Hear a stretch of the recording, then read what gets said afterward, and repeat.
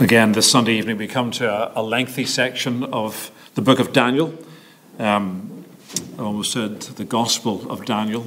Um, and that actually is not a mistake because every, every book of the Old Testament is the Gospel according to Isaiah, Ezekiel, Jeremiah. The Gospel runs from Genesis 1 right through to Revelation 22 and the last verse. Um, so there is a real sense in which the gospel is being preached to us here. But let's, let's read this, this wonderful chapter in, in stages as we go through. Uh, we'll read to, to verse 18 from verse 1, first of all. King Nebuchadnezzar, to all peoples, nations, and languages that dwell in all the earth, peace be multiplied to you. It has seemed good to me to show the signs and wonders that the Most High God has done for me. How great are his signs, how mighty are his wonders. His kingdom is an everlasting kingdom, and his dominion endures from generation to generation. I, Nebuchadnezzar, was at ease in my house and prospering in my palace. I saw a dream that made me afraid. As I lay on my, in bed in the fancies and in, the, the fancies and the visions of my head alarmed me. So I made a decree that all the wise men of Babylon should be brought before me, that they might make known to me the interpretation of the dream. Then the magicians, the enchanters, the Chaldeans, and the astrologers came in, and I told them the dream, but they could not make it known, make known to me its interpretation.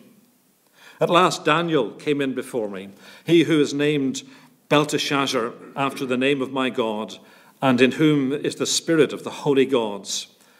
And I told him the dream, saying, O Belteshazzar, chief of the magicians, because I know that the spirit of the holy gods is in you, and that no mystery is too difficult for you, tell me the visions of my dream that I saw and their interpretation.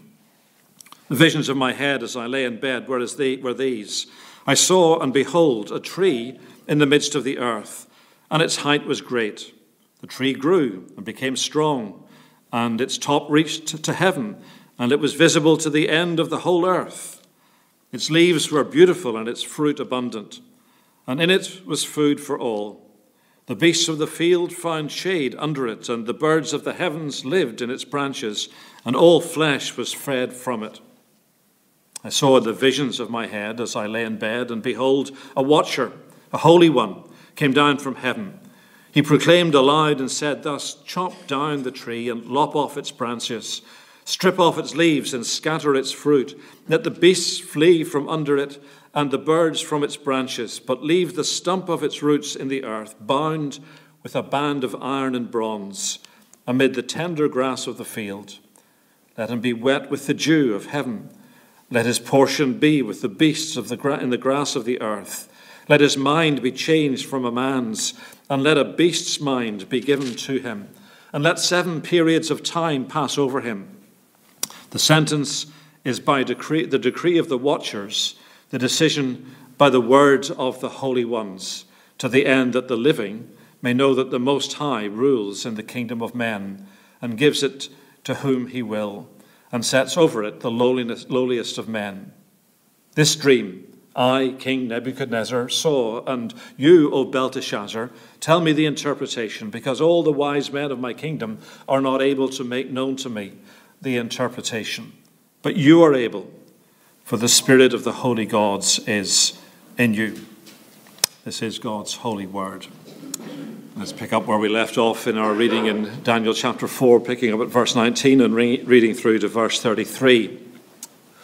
Then Daniel, whose name was Belteshazzar, was dismayed for a while, and his thoughts alarmed him. The king answered and said, Belteshazzar, let not the dream or the interpretation alarm you. Belteshazzar answered and said, My Lord, may the dream be for those who hate you, and its interpretation for your enemies. The tree you saw, which grew and became strong, so that its top reached to the heaven, and it was visible to the end of the whole earth, whose leaves were beautiful and its fruit abundant, and in which all was food for all, under which the beasts of the field found shade and in whose branches the birds of the heavens lived. It is you, O King, who have grown and become strong. Your greatness has grown and reaches to the heavens, and your dominion to the ends of the earth. And because the king saw a watcher, a holy one, coming down from heaven and saying, Chop down the tree and destroy it, but leave the stump of its roots in the, in the earth, bound with a band of iron and bronze, in the tender grass of the field, and let him be wet with the dew of heaven, and let his portion be with the beasts of the field, till seven periods of time pass over him. This is the interpretation, O king. It is the decree of the Most High, which has come upon my lord the king, that you shall be driven from among men, and your dwelling shall be with the beasts of the field. You shall be made to eat grass like an ox, and you shall be wet with the dew of heaven, and seven periods of time shall pass over you, till you know that the Most High rules the kingdom of men and gives it to whom he will. And as it was commanded to leave the stump of the roots of the tree, your kingdom shall be confirmed for, for you from the time that you know that heaven rules. Therefore, O king, let my counsel be acceptable to you. Break off your sins by practicing righteousness, and your iniquities by showing mercy to the oppressed, that there may be perhaps a lengthening of your prosperity. All this came upon Nebuchadnezzar. At the end of twelve months, he was walking on the roof of the royal palace of Babylon. And the king answered and said, Is not this great Babylon, which I have built by my mighty power as a royal residence and for the glory of my majesty? While the words were still in the king's mouth, there fell a voice from heaven O King Nebuchadnezzar, to you it is spoken. The kingdom has departed from you, and you shall be driven from among men and your dwelling shall be with the beasts of the field, and you shall be made to eat grass like an ox, and seven periods of time shall pass over you until you know that the Most High rules the kingdom of men and gives it to whom he will. Immediately the word was fulfilled against Nebuchadnezzar. He was driven from among men and ate grass like an ox, and his body was wet with the dew of heaven, till his hair grew as long as eagle's feathers and his nails were like birds' claws. So far, the reading of God's holy word. Let's read the closing verses of, of Daniel chapter 4 from verse 34. At the end of the days, I, Nebuchadnezzar, lifted my eyes to heaven, and my reason returned to me. And I blessed the Most High, and praised and honored him who lives forever. For his dominion is an everlasting kingdom, and his kingdom endures from generation to generation. All the inhabitants of the earth are accounted as nothing, and he does according to his will among the host of heaven and among the inhabitants of the earth. And none can stay his hand or say to him, What have you done? At the same time, my reason returned to me, and for the glory of my kingdom, my majesty and my splendor returned to me. My counselors and my lords sought me and I was established in my kingdom, and still more greatness was added to me. Now I, Nebuchadnezzar, praise and extol and honor the King of heaven, for all his works are right, and his ways are just, and those who walk in pride he is able to humble. This is God's word. Well, let's turn back to this passage for a few moments as we consider uh, this next section of the book of Daniel, uh, this extraordinary insight into the way that the God of Israel is the same God who is the God of all the nations. And even the pagan nations of the ancient world uh, were under his oversight and subject to his will. Uh, and as we come to this particular chapter, it has to be one of the most extraordinary and the most magnificent chapters in the entire Bible. It's a chapter of great contrasts. It, it takes us to the, the heights of earthly power. We're talking here about uh, the mightiest man on the face of the earth at that time, as we, uh, as we, we think of Nebuchadnezzar. Um, but we, we see too the fact that God rules over even the mightiest men, and he is able to bring them low. But even more than that, this mighty man who was full of himself and his own pride and his own arrogance, brought low by God, could have been abandoned in his low estate, cast out forever, snuffed out at a single word from God's lips. And yet, this self same God who brought him low brought him to repentance, convicted him of his sin, and caused him to cry out to God for mercy. And God answered his prayer and restored him, and indeed saved him to make him his very own. On the one hand, in this chapter, we see human nature in all its arrogance at its very worst and in all its ugliness. But on the other hand, we see God in all his might and all his power. He is the Lord of all the universe. He is the God who controls everything that happens, from the inner workings of the tiniest particles of matter right through to the outer reaches of outer space, right down to the individual actions, thoughts, and words of every human being. God is intimately not only involved in, but in control of all that is unfolding in the lives of people in this world. He is the God of might and power, but He is the God of gentleness and grace and mercy. And that's an extraordinary thing. People are inclined to think that we should fear God because He is the judge of all the earth. But the real reason why we should fear God, that is, revere Him and honor Him, because although He is the judge of all the earth, the God who is the upholder of perfect righteousness, the one to whom everyone must answer one day and give an account of themselves, he is simultaneously, without any contradiction or confusion, he is the Savior of the world. The God of justice is also the God of grace and mercy. The God who has every right to condemn us and consign us to the depths of hell, is the God who alone is able to rescue us and lift us up to the heights of heaven. And, and this is what we're seeing in microcosm in this event. And, and as, as the gospel is preached to Nebuchadnezzar by this God through his providential dealings with him, interpreted by the, the, the interpretation of the dream that was given to him, Nebuchadnezzar the worshipper of pagan idols, falls down at the feet of the true and living God. But the discomforting thing about the first side of this chapter is that the contrast that it makes um, doesn't just provide a, a glimpse into the heart of a pagan king who lived over two and a half thousand years ago but as the Bible is a mirror which provides a reflection of ourselves, God is showing the truth about what goes on in our heart.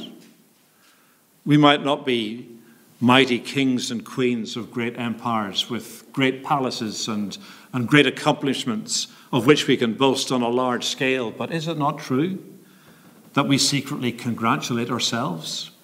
That we secretly take pride in our achievements? And we forget that we are dependent every moment of every day upon the grace of the God who gave us life and the God who alone is able to sustain us. The head of an empire with millions of subjects becomes a life size model of all men and women and how we all stand by nature before this God. And so, too, as we look at God's dealings with Nebuchadnezzar, it very quickly becomes clear that the way in which God deals with kings and rulers is no different from the way that he deals with humble human beings.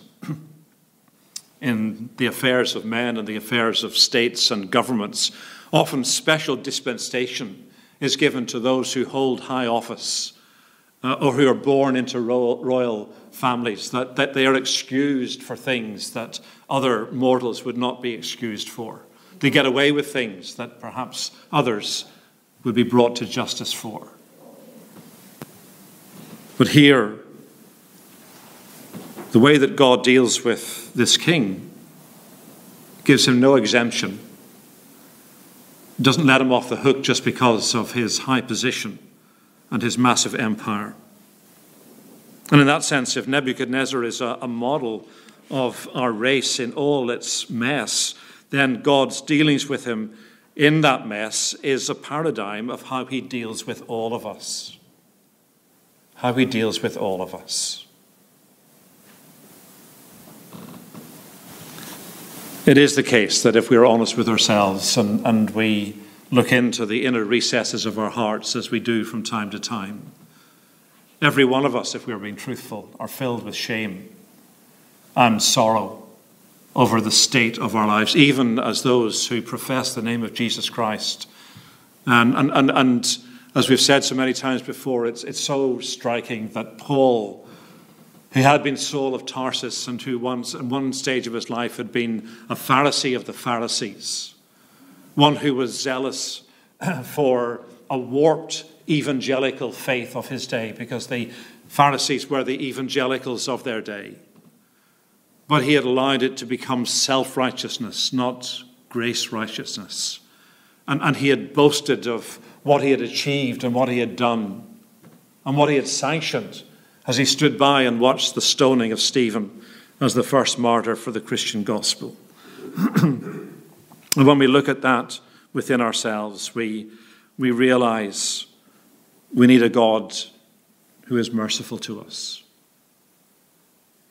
Lord, if you should mark iniquity, which one of us could stand? And the key to understanding what happens and where it all leads is found in the words that God speaks and the response that the king gives. I've, I've, I've, given this, this evening's sermon a, uh, a title. I give all my sermons titles for, for good or ill. That's, it's meant to discipline a preacher to keep on track and, and keep focused on what he's saying. And tonight's sermon is given the title A King Who Learned the Hard Way. And the, and the reason for that was he could have learned the lesson in a much easier way and much more quickly if he had but listened to the revelation that God had given in the first place. We see how that is so. But I think the most wonderful thing about what happens next is that God would not let this man rest in his foolishness.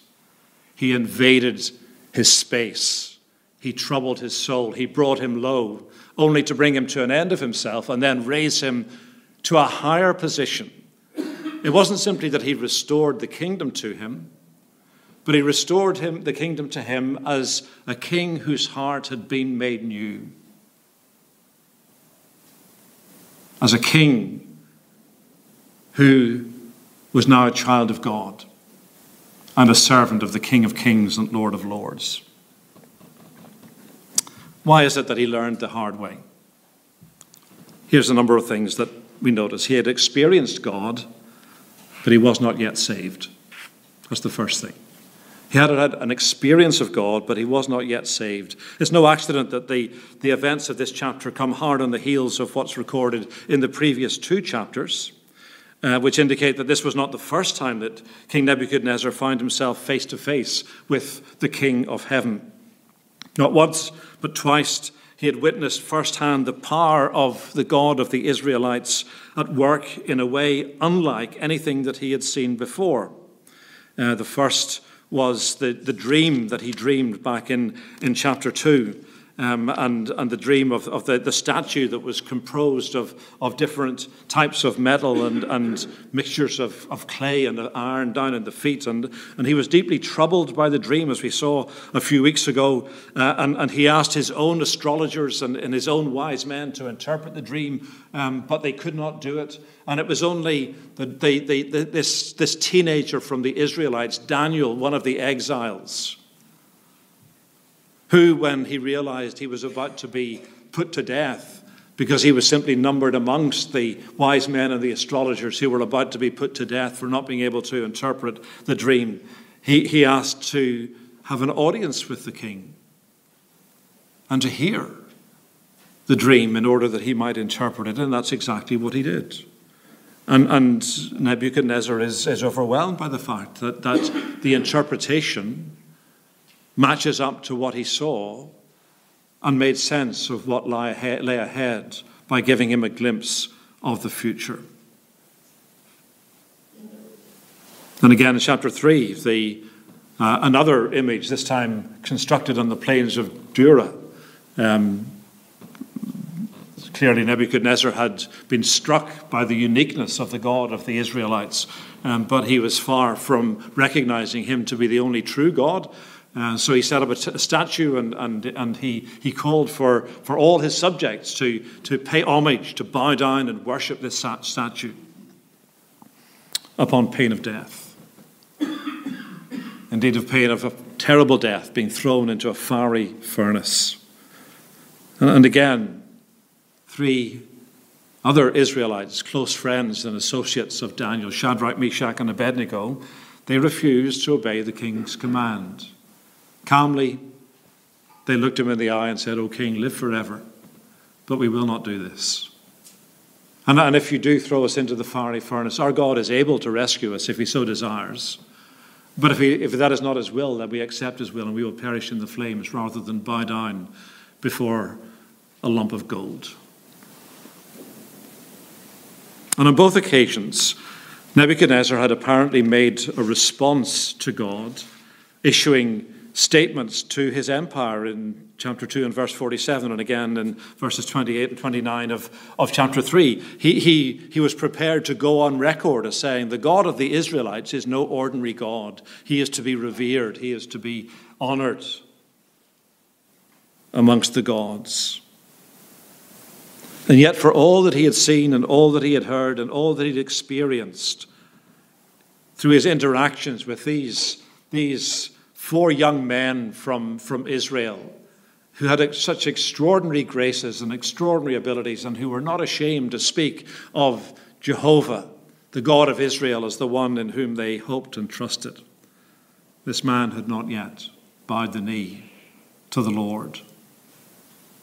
And so, as this chapter takes us into the defining period of his life, what, what's recorded here um, in, in this passage is, is an autobiographical testimony.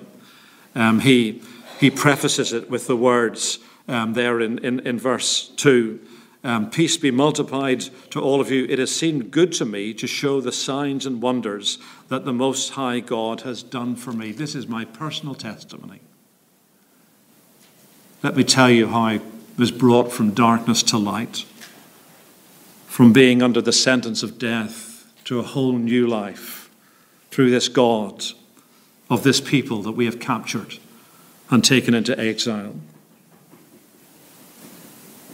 What's significant about his testimony is the fact that it's punctuated with the words, for me, what God has done for me. That there was a, a personal element in the way that this God related. That was, that was unknown to the gods of the ancient, ancient world. They were gods who were capricious, they were gods who were self, self gratifying, they were unpredictable. Um, and, and, the idea of, of somebody who worshipped one of the gods of the ancient religions um, being able to say that God has done this for me specifically was, was, was, was beyond imagination. But, but he encounters the God of Israel and he says, Let me tell you what the God of Israel has done for me. And this episode brought it all home to him. So here was a man who'd experienced God, but he had not experienced God's salvation. And this comes out clearly in the first part of his testimony. So, in that sense, Nebuchadnezzar is not unlike many people who've had an experience of God, but don't actually know him for themselves. They've perhaps been taught to say the Lord's Prayer Our Father who art in heaven, hallowed be thy name. But if you put them on the spot and say, Excuse me, go over those words again. Our Father. Can, can you genuinely say from your heart that God is your heavenly Father? The one in whom, whose promise you have trusted for your salvation? The one whose Son is the one you look to as your Savior? Or are these just words that you learned in school or somewhere else and you round them off by heart?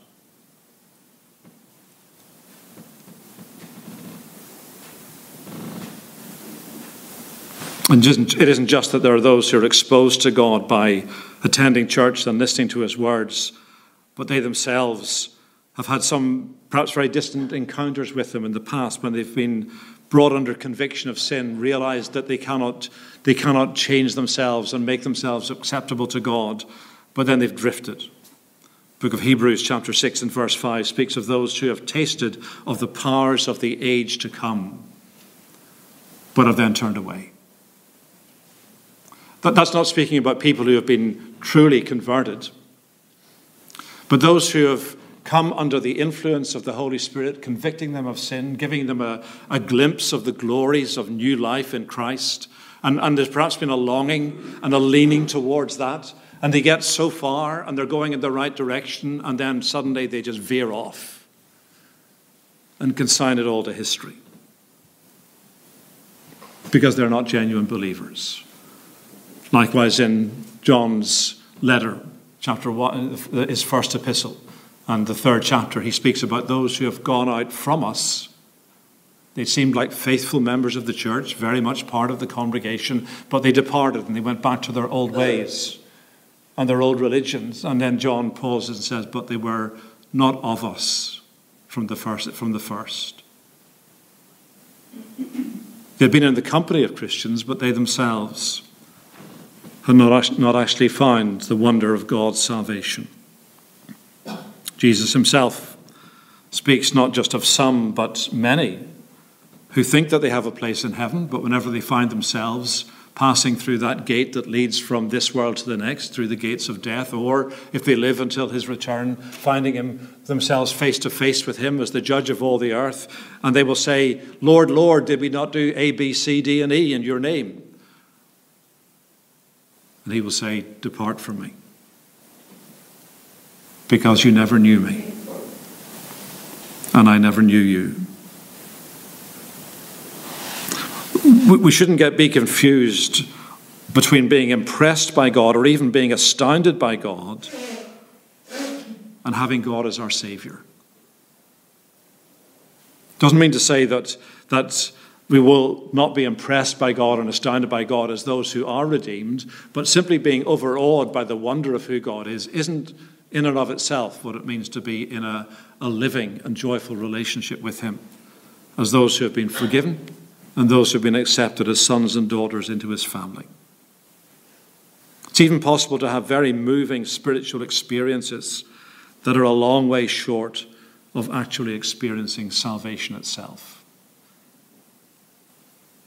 So Nebuchadnezzar himself lays down a marker for us in terms of what he had seen and what he had heard, and yet was still so far away. Secondly, he was warned by God, but he didn't listen. Nebuchadnezzar is clearly deeply affected by the signs and wonders that God had performed for him, but he is even more affected by the word. Um, all the signs and wonders, dreams, and interpretations he saw have one common thread running through them. They were the means of getting his attention in order that he might listen to the word of God. You know, in, in, in the past 120 something years, since the, the birth of the Pentecostal movement in Azusa Street in California and the rise of the charismatic movements in the 60s and afterwards. Um, there, has been, there's been great excitement over, over signs and wonders and miraculous occurrences and prophecies and, and all these things. But the whole purpose of the signs and wonders that we find in Scripture are to point away from themselves to God in heaven and especially to the words that God is speaking.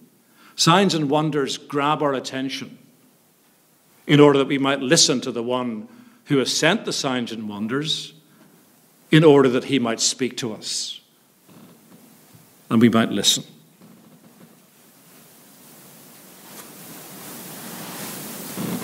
So these were all instances that were tied into the message that was coming to him that were intended to show God's supernatural character. He was not like any other God that was, had been invented by men, because he is the true and living God. So, the most important thing about these incidents was the message that was bound up with them. They alone explained the meaning of what was happening to him. Now, now every culture and, and every religion of the world can say strange things happen in life. There's things that defy explanation. But those strange things can be interpreted in all kinds of ways, and it's left to the imagination of the individual to make, make what they will of them. And, and, and believe me, there are some crazy interpretations offered whenever strange things happen to those around us. But in the Bible, God's supernatural deeds are always accompanied by his supernatural words that make sense of them. God always explains, as we said before, you look at the miracles of Jesus, especially the way that John records them miracle, sermon, miracle, sermon. That, that Jesus explains the miracle, that they're not to be fixated by the displays of, of otherworldly power. They are to be fixated by the words of the one who is behind this otherworldly power. And so the bulk of the chapter is taken up with God speaking to Nebuchadnezzar and spelling out clearly what he was saying. He speaks at a most unusual time. Verse 4 clearly things were going incredibly well. I was at ease in my house and prospering in my palace.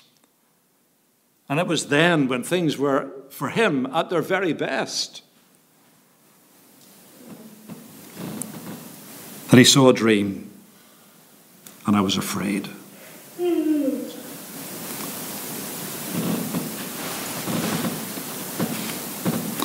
And that's significant because so often people cry out to God whenever they're at rock bottom, whenever their world is falling apart. But this man was on the crest of a wave. He was at the peak of his success. And at that point, God comes crashing into his life in a way that shakes the very foundations of his existence. He speaks here at a time when the king thought his life was untroubled, and he finds himself being troubled by a dream in the night. And he couldn't understand why he was being so deeply under, unsettled. For humanly speaking, he should have been the happiest man on the planet.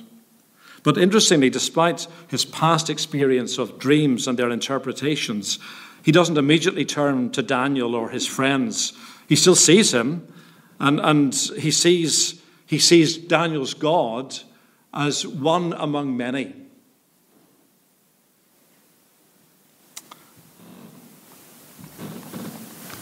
In some ways, the gods of the ancient world were like the, the apps on a modern cell phone. Um, there's an app for everything. Um, and it's amazing what you can turn to. If you're stuck for something, you just flick on your phone, you look at what you've got in your apps, and if it's not there, go to the App Store and you'll find what you're looking for. So in the ancient world, there were so many gods, there was a god for everything. You know, if, if you looked for um, uh, uh, issues about the weather, then you consulted Baal because he was the storm god, the weather god. But suddenly Nebuchadnezzar realizes that there is only one God who has the ring of truth about him. And in that sense, True conversion will always recognize the utter uniqueness of God and His Word, and especially of His Son, the Lord Jesus Christ, who is the way, the truth, and the life. Look to Jesus, and you will live. Trust in Jesus, and you will be accepted. The king relates his dream to Daniel, and Daniel explains the dream to the king. And even though its passage is one that is painful for this high ranking civil servant to deliver, uh, verse 19, um, but the whole point of this lengthy section is that despite all that God said so clearly, the king did not listen, verses 28 to 30. You'd think after the incredible interpretation, the king would have come to his senses. But at the end of 12 months, just a year later, he was walking on the roof of his royal palace in Babylon. He surveys his domain and said, Wow, this is my doing. What a good boy am I. He's praising himself, trusting in his own achievements.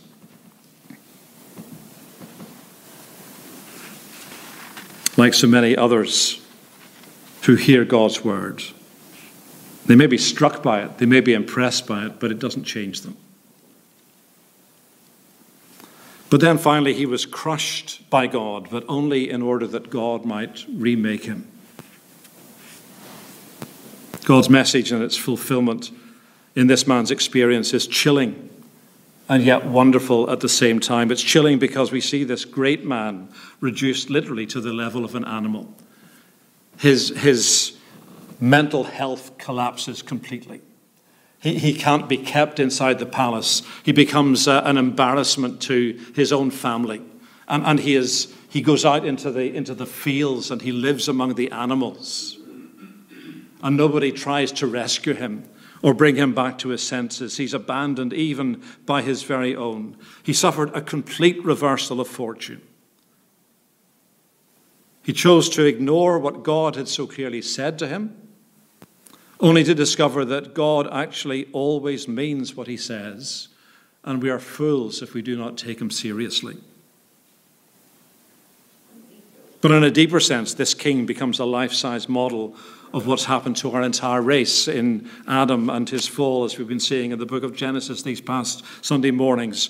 God's appointed king of creation. That's what Adam was. He was the vice regent of God on earth, implementing his heavenly rule through human agency among the things and through the, uh, the creatures that God had made. Adam did not listen to God's warnings. And as we saw this morning, Adam suffered the expulsion from paradise that God said would happen if he disobeyed. But it was in that degraded state, after a long time had passed, that we are told there in, in verse 34, um, uh, Nebuchadnezzar says, at the end of the days, I, Nebuchadnezzar, lifted my eyes to heaven, and my reason returned to me, and I blessed the Most High, and praised and honored him who lives forever. I lifted my eyes to heaven. But that, that's as much a metaphorical statement as it is an actual statement. Yes, he may have physically looked heavenward, lifted his hands in, in, in uh, an expression of pleading with God. But the significant thing was that, that up until that point, he had been looking inward and downward, proving, as Luther tells us, that sin makes an individual incurvatus in se, turned in upon ourselves, obsessed with ourselves. And this king turns out from himself and looks up to the one enthroned above. It may well be that in his debilitated mental state, that's all he could do. All he could do was look up, grunt at God. Isn't that, isn't that incredible? A king who ruled an empire just making grunting noise to the Almighty. And yet God heard. God heard it. You know, just as an aside, you know, we, we shouldn't we shouldn't write off those whose mental capacities have been damaged seriously and they are not able to articulate themselves before God in the way that those with intact faculties are. We had um, a number of uh, people with disability came to our first church in Ridge Hill when we were first there, and there's one individual, one old lady, and all she could do was grunt. That's all she could do. But we knew exactly when she would grunt. Every time you mentioned the name Jesus from the pulpit, a grunt came from the back row. Isn't that wonderful? Didn't God rejoice in those grunts even more than he rejoiced sometimes in our attempts to sing? And that's what God was doing to Nebuchadnezzar as he heard the grunt from the king coming from that field where he was with the animals. And he saved him. He was delivered.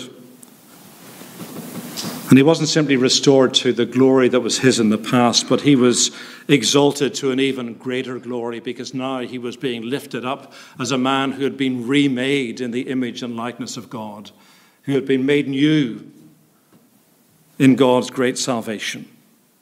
And that deliverance entailed a restoration to glory. And that's the hope of the promise of the gospel that those, we who have been defaced and degraded in our sin and are completely unworthy in ourselves, are remade in the Lord Jesus Christ. And my friend, if you are trusting in the Lord Jesus Christ, you have God's solemn word, you are made new in his image and you are his child.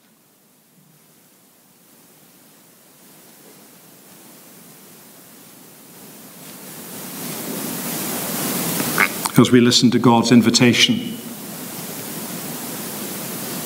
and even just say yes to his invitation. I do.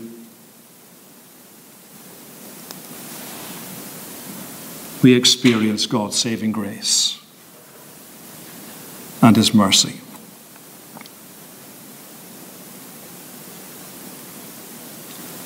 I've spoken to you before about a dear soul who came to faith at the ripe old age of 82. Um, and I'd worked with him on and off over a number of years without any sign of interest. But the day he finally professed faith and, and met with me, he was bubbling over with thankfulness that he had taken the step that he knew he should have taken as a teenager but didn't. Then he paused and said, I've only got one regret. I should have done it years ago. I shouldn't have left it so late.